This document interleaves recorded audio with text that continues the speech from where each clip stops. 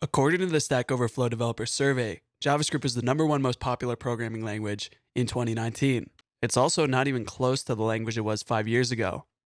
Almost everything has changed for the better, from where it can run to the actual syntax of the language.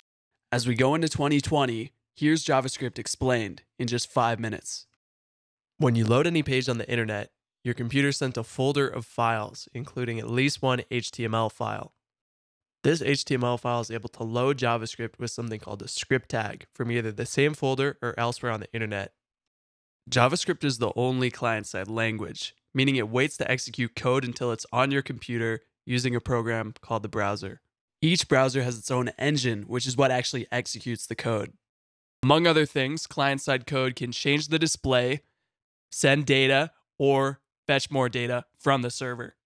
You might have heard of client side frameworks like React, Angular, or Vue, which build on top of JavaScript and make writing client side code a lot easier and more maintainable. But that's another video. Traditionally, JavaScript is an interpreted language, meaning the code is read line by line instead of having to go through a compile step where it's converted to machine code. Browsers have actually added something called the just in time compiler, though, to speed up their engines.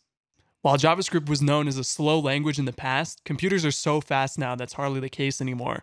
JavaScript's doing pretty much everything these days, from running servers to machine learning and more. We can do a lot of stuff on the back end now with the JavaScript environment known as Node.js. That means we can write APIs, talk to databases, and talk to other servers, all with JavaScript. Node uses the same V8 engine as Chrome, so it's lightning fast. Still, things that are very performance intensive are going to be better off with Go or C. Let's talk about the language itself.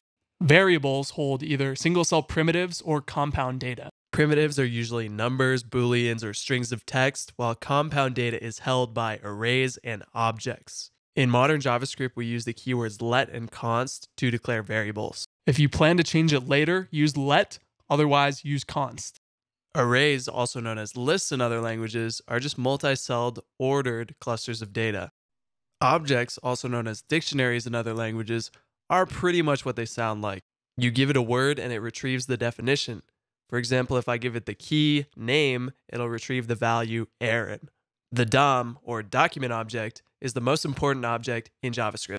It's a JavaScript representation of the structure of our HTML and is present in the variable document when we load the page. The document object contains many element objects. Through the DOM, we can search for specific elements, add user event listeners, or change how the page looks. All this is possible through a set of methods called the Browser API. We'll get to methods soon.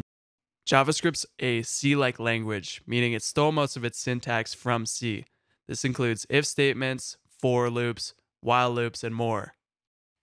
Speaking of loops, most commonly we'll use a for in loop to iterate over an object and a for of loop to iterate over an array. Functions are just any code we want to use more than once. We declare these with the special keyword function, followed by whatever we want to name our function, and finally the parameters or inputs to our function.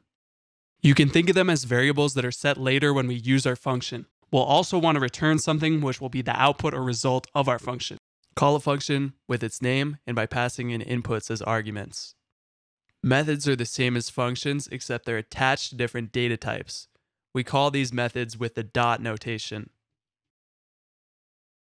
Functions can also be written like this. Parameters are on the left, and it returns automatically if written on one line.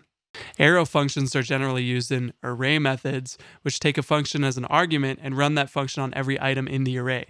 Don't worry, that's as complicated as we'll get. Another huge part of JavaScript is known as asynchronous programming or performing non deterministic operations, such as a network request to a server to fetch more data. We don't know when the request is going to return or if it's going to fail, so we have to handle both of those cases. Async programming has evolved a lot over the years in JavaScript, but the current standard is async await, and it's awesome. All you have to do is add the await keyword, and it will pause your program when you send a request until that request either comes back or fails. While not technically JavaScript, I also have to mention TypeScript, which compiles into normal JavaScript. Vanilla JavaScript has what's known as dynamic types or no types, and TypeScript gives us static typing, meaning we have to be specific about what kind of value is in a variable. This seems like extra work, but it actually helps us catch a ton of errors. Finally, let's talk about NPM, the Node Package Manager. Chances are, if you need some code, someone else has already written it. You can download it as a module, and chances are it's well tested and bug free. Anyway, that's JavaScript in just five minutes. Please like the video if you liked it so other people can see it. Thanks for watching.